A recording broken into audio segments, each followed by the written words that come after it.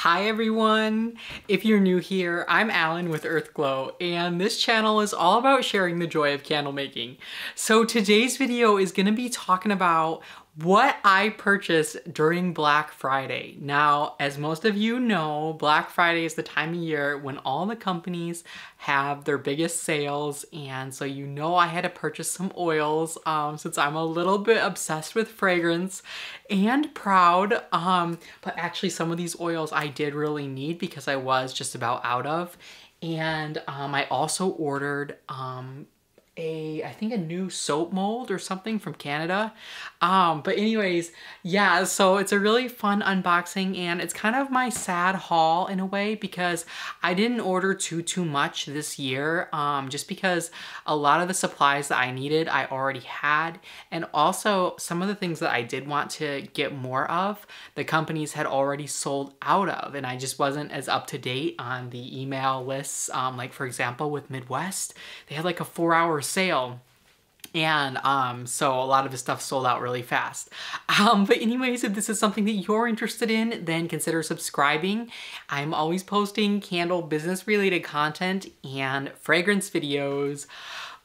If you all haven't noticed by now, are my absolute favorite to film. But anyways, let's get right into today's video and I hope that you enjoy.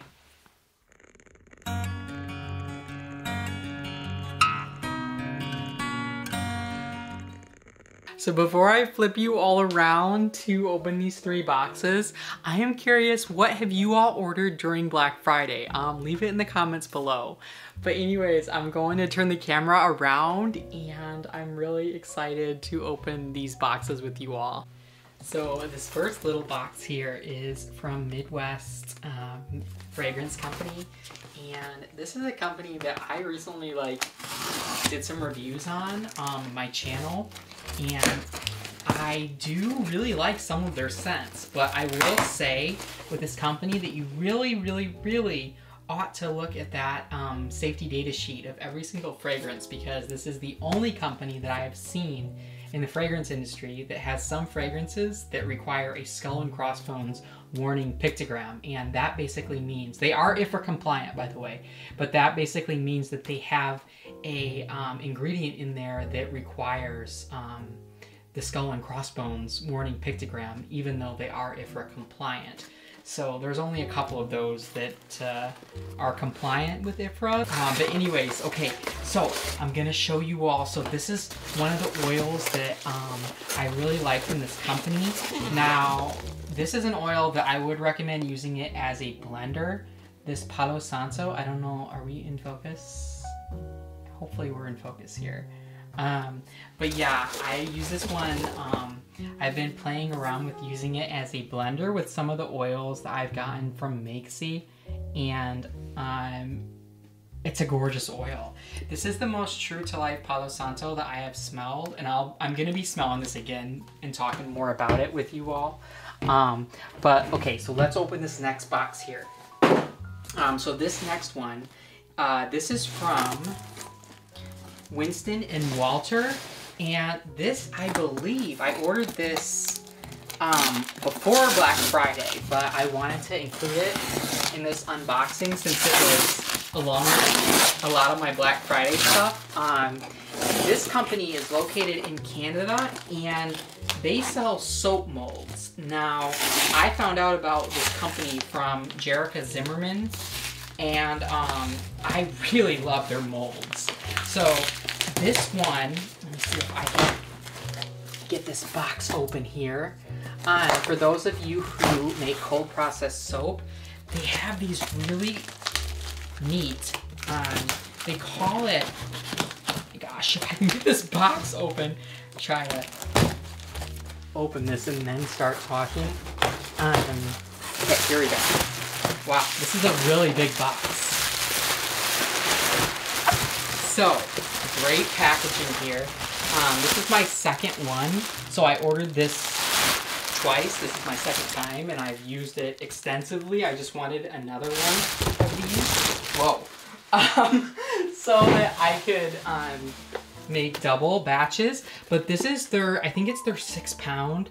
Um, mold, and this is the tall and skinny, and I will link it below. Um, obviously not affiliated, not sponsored, but I just really love their molds. And what this um, comes with, let me see if I can, um, well, I'll show you all up close um, uh, once we uh, turn the camera back around. But this mold, um, it's so, so, so good.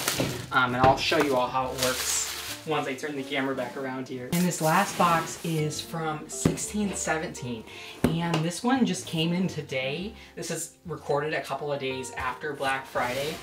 And um, so actually about five days after Black Friday. So this one just came in today and I'm really excited because this box has um, some restocks that I have needed for uh, my Wanderlust collection but also it has an oil that I've never smelled before, and some of you might know what that oil is. Um, and I'm really, really excited. So, just so you can all see, um, like most of the other suppliers that I purchase from, they do pack their orders with biodegradable packing peanuts, and these are made from primarily cornstarch, and you can just dissolve them in water, um, and they will completely biodegrade before your eyes, which is so cool. Um, and this oil here, um, oh my god. Okay, so this is the one that I've never smelled before. And yes, I did buy a 16 ounce bottle. I've been getting better, but you all know I'm a little bit obsessed with fragrance and sometimes I'm impatient. Um, so I got this Grand, Grand Dome, Dome. Um, I'm sorry, I'm not very good with French. Some of you can correct me on that one. Um, I'm really excited to smell that oil. And then I also got, um, okay, so let's see what's in here. This is, oh yeah. So, for those of you who know, um, I can see through the wrapping on this one. This, one of these um, oils in here so this is Eternal. This one is in my Wanderlust collection, and I blend this one with um, Persephone, and that is going to be a 50-50 blend. And oh my gosh, okay, really great packaging here. Um, I've never had any issues with 1617's packaging, um, but this is, this is per usual, just how they are very scrupulous with, with how they pack their orders. Um, okay, and so let's see. What else we have in this box here? I know I ordered more. Um, okay, yes. So we got Persephone. So Persephone, if any of you have been looking for like a luxury linen type of a scent, um, Persephone is such a good one and it's a phenomenal thrower. In um, I've tested this and use it in my beeswax, soy, and cocoa cream wax blend. Um, and so I would say if you do use soy wax, you're going to be able to get a pretty good scent throw from this one. But yeah, I did get a couple of bottles of Persephone as well. And I think um, it's just another bottle of Persephone here. Um, I was all, like, almost totally out of my last supply. Um, I think this is my last one here. So this is, yeah, I'm not gonna bore you all. This is more Eternal and more Persephone. So I got three 16 ounce bottles of each, and these were like 20% off, which um, I thought was pretty good on those. I think that is going to be all. Yeah, I think that unboxes everything in this order. So I'm going to flip you all around and I'm going to talk a little bit more about some of these uh, fragrances. And I'm going to smell the Grand uh, Dome or Dome, however you pronounce that one in French. I'm really excited for that. Okay, so I just wanted to show you all really quick. Um, so with these Winston and Walter molds, for those of you who do the cold process soap, all you do is you make your soap. This is a really big, uh, like I said, I think it's like a six pound mold, but you make your soap in here and then um, these sides just slide right out like that. And so when you go to unmold your soap, you will just slide out the sides and then um, you know you've got just a silicone mold. And the silicone liner it's just really easy to unmold. Most of you are probably very familiar with this if you're a uh, soaper. But anyways yeah and then you just put it right back together um, just like that when you are done cleaning it and I have cleaned these extensively after every use um, the wood and everything. I don't know if you're supposed to do that or not but it is really easy to just um, to get it clean and then to put it right back um, together in there. So I think for that one I paid um, I'll put the cost up on the screen for what I paid, um, but I will just say that they are worth every penny and I can make about 20, 18 to 20. Um, I think I make one inch bars in general um, with that tall and skinny mold and yeah, it's, it's incredible. And I'm just really happy with the results that it produces and I love the shape of the soap in the tall and skinny. Um, I think that it's just a little bit different than the standard um, soap molds. Okay, and then this Palo Santo. So if you've been watching my channel for any amount of time, and I hope we are in focus here, um, you know that I have been looking for a really good Palo Santo fragrance. Now, I've already uh, smelled this Palo Santo from Midwest and I will say that this one um, is gonna be one that I would blend and I'm planning on blending this with some of Makesy's fragrances like maybe their Bronze Orris and Pink Suede or maybe with um, some of their, um, that orange one. Um, I'll put the name up on the screen, but I'm not sure exactly. Um, oh my God, it's so good. This smells the most like True to Life Palo Santo of any fragrance I have smelled. I still wouldn't say that it smells like True to Life Palo Santo, but more so than any fragrance oil I have smelled. The runner up to this, I would say, um, probably Cal Candle Supplies uh, Palo Santo, and then after that would be the Flaming Candle candles, Palo Santo Patchouli, and um, yeah, Candle Sciences Saffron Cedarwood smells nothing like, they used to call that one Palo Santo by the way, um, but it smells nothing like actual Palo Santo, which, you know, I am very familiar with the wood, I sell it, and um, it has a very distinctive aroma. Um, but yeah, this fragrance oil is really good and I would highly recommend it as a blender.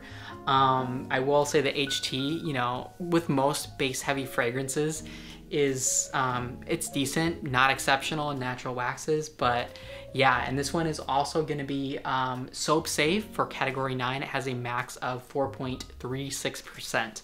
Um, so yeah, I think this one would be really good for like an activated charcoal soap maybe, or if you um, make like a more earthy um, wood type of a soap, I feel like this would be just beautiful. Um, but yeah, it's it's stunning. If any of you have smelled the candle that's called Intention by, um, I think Target has a brand that has it, um, but it's a very upscale smelling scent. Um, this smells almost identical to it and um, it's, it's, gorgeous. So next up, um, I wanna talk oh yeah, I really want to smell this new fragrance. So this is what I'm most excited for with this haul.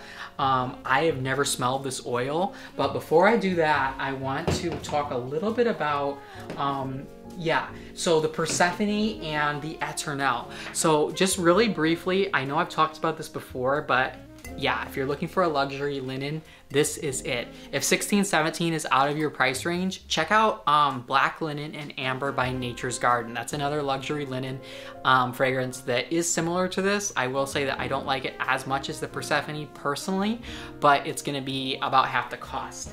Um, and also this Eternelle, it's Magnolia Blossom, Frangipani, Tobacco, and Vanilla, and Jasmine, and Oh my gosh. This oil, I almost licked the cap.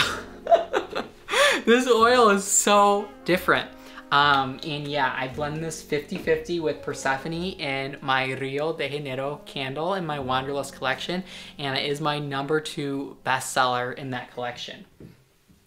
Um, Okay, so let's take a look at this new oil. I'm so excited to smell this, you all. So when they came out with this fragrance, um, I had just placed an order from them. Um, and I didn't want to just buy this oil, you know, because to have that ship across the country for just one little oil would be pretty expensive. So I have been waiting months to smell this and I've smelled all of their oils so far up until this one. And I will say I am in no way sponsored or affiliated with 1617, but their oils in general, I really like. Um, they're probably the only company that I can name that I have been very satisfied with I would say close to 100% of their oils. Um, and the only reason that I don't say 100% is just because their Kathmandu, which I love, um, and their Lombard Street, um, which I like, um, they are not going to be as strong of a thrower um, by themselves. So I wouldn't recommend if you use like a natural wax like I do, I wouldn't recommend those oils by themselves, but they are great blenders. And yeah, so 1617 by and large, I would say is, is just about the only company that I've tried that 100% of their oils or close to 100% I'm pretty satisfied with. Um, second to that would be Brambleberry and third to that would be Candle Science. Um, okay, so anyways, I'm gonna check out this oil and oh my gosh. So it says the main notes is gonna be bergamot, lavender, uh, Catarini tobacco and balsam fir. So I'm expecting something kind of masculine. From what some of the reviewers said, it's kind of an old world type of a scent and I'm just, I'm really excited. I'm expecting something maybe kind of like um, their, um, what is it called? Oh my god, I can't think of anything right now. I'm, I'm very excited to smell this oil. Um, I'll put the name up on the screen of the fragrance um, that I'm thinking of. It's not Kathmandu, it's the other one that I have like four 16 ounce bottles of. Um, anyways, okay, I'm gonna check out this Grand Dome and see what it's gonna do for us. Ooh. Okay, yeah, this is really masculine. This does lean more cologne-like than I would say any of their fragrances do like all of their oils pretty much, it's very, very prominent out of the bottle. Um, wow, this is gorgeous. This is really, really gorgeous. Um, this is definitely an old world luxe masculine cologne type of a scent. Um, wow, yeah, I would have to see how this performs in a candle for me. I have a feeling that this is gonna be a very strong thrower, like almost all of their oils are, with the exceptions being Kathmandu and Lombard Street. Um, wow. Yeah, this is hitting me in the face with the bergamot and the fir notes, I would say.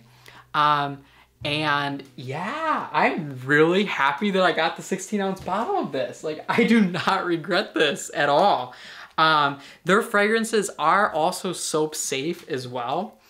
And um, I do wish though um, that 1617, and if you're watching this 1617, I do really wish that you would put up some notes on your cold process soaps so that us soapers can see how your fragrance oils perform in cold process soap without like throwing them into a six pound batch or something and, and just you know wondering because it's very difficult to make small batches very small tester batches of cold process soap.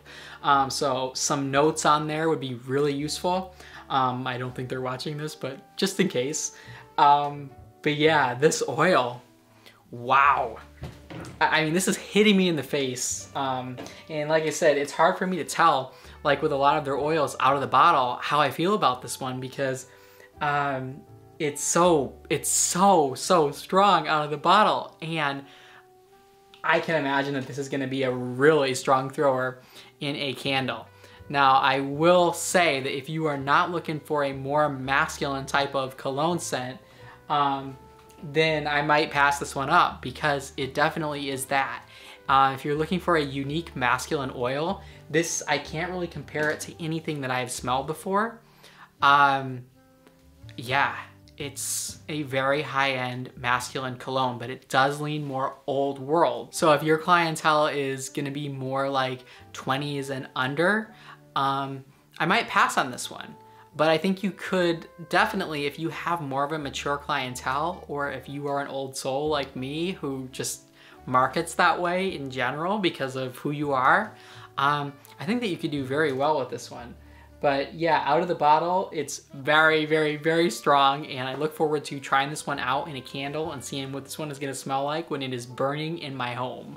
But anyways, that is gonna be all for today's video. And if you did enjoy my sad but not so sad Black Friday haul, um, don't forget to give this one a thumbs up and leave me a comment at the bottom if you try any of these oils or what types of fragrances that you really like from 1617 and Midwest. And um, those of you who are soapers, have you checked out Windy Point Soap? Um, I'm like I said, I'm really, really happy with their products. And um, anyways, I'm sending everyone so much love and peace and light. And I'm literally gonna be covered in this new fragrance oil from 1617 because I just like whacked the strip all over my um, body.